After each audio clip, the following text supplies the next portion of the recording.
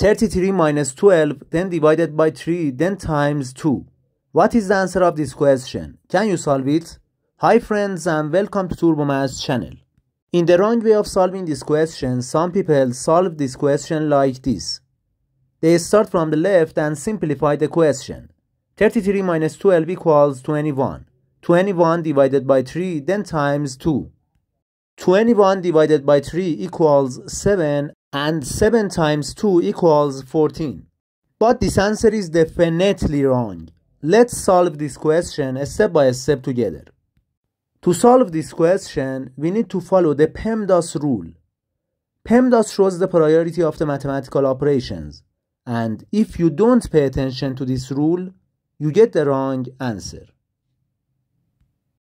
In this rule, P stands for parentheses, E stands for exponent, M stands for multiplication, D stands for division, A stands for addition, and S stands for subtraction.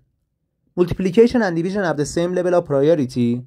Also, addition and subtraction have the same level of priority, and when we have both in an expression, we start from the left and simplify the question. According to the PEMDAS rule, first we simplify this division. Negative 12 divided by 3 equals negative 4.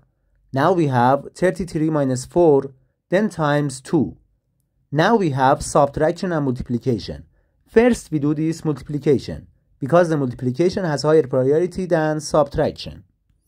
Negative 4 times 2 equals negative 8 and 33 minus 8 equals 25. The final answer of this question equals 25.